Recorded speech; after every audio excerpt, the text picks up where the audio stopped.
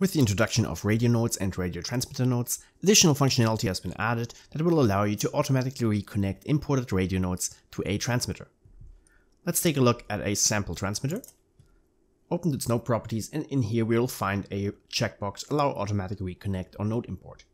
At the time of recording this tutorial I'm not yet sure if this will be ticked on by default, however in my current node graph on all these radio nodes, or sorry, all these radio transmitter nodes it is turned on while on any other transmitter node it is turned off.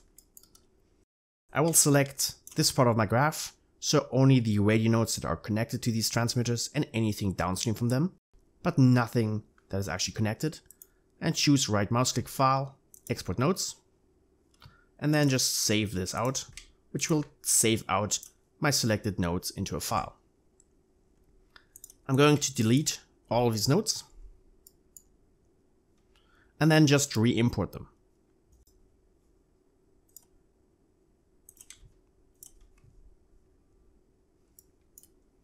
Let me move this in position.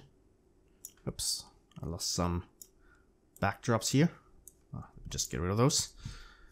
Now, you can already see that Mari automatically reconnected my radio nodes.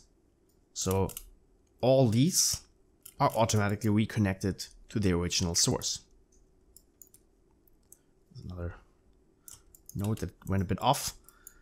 So based on the name that exists in this radio node, Mari reconnected it to the source transmitter. This will only work, first of all, if the import radio nodes no longer have any connection.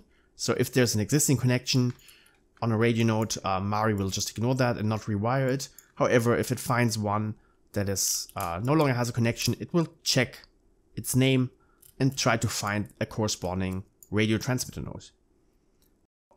Again, it will only connect if on the transmitter node this checkbox is turned on. As you can see, all these radio nodes have not been reconnected to these transmitter nodes because here these options are turned off. There's a global override for this behavior. If you go to the preferences node graph, there's a allow automatic transmitter connections on import. And if I tick this off, basically Mari will never reconnect any radio nodes automatically, even if a matching transmitter has been found and its automatic reconnect checkbox is ticked on. If this is ticked off globally in the preferences, it will ignore this. Now this is a really, really great tool to speed up some of your scene setup if you're using, for example, occlusions and curvatures repeatedly.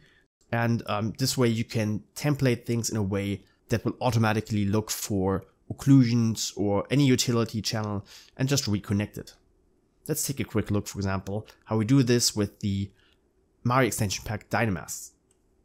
So I have a project here with some different utility channels. For example, I have an ambient occlusion and some different curvature bakes and some normal map. And you can see I have it all exposed as uh, radio transmitter nodes.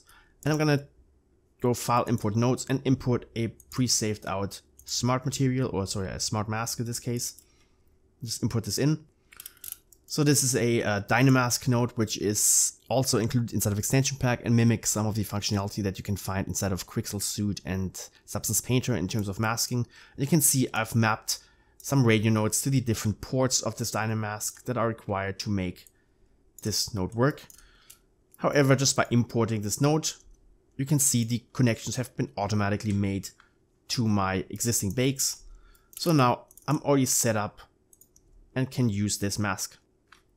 So it can go in here, you know, just do some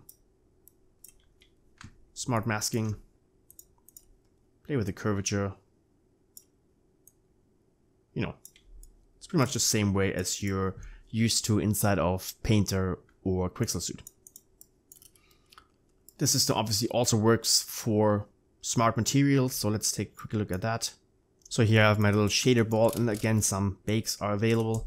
The curvature and ambient occlusion.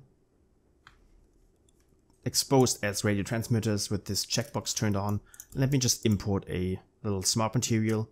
I'm just going to again choose import nodes and choose one of my pre-prepared materials.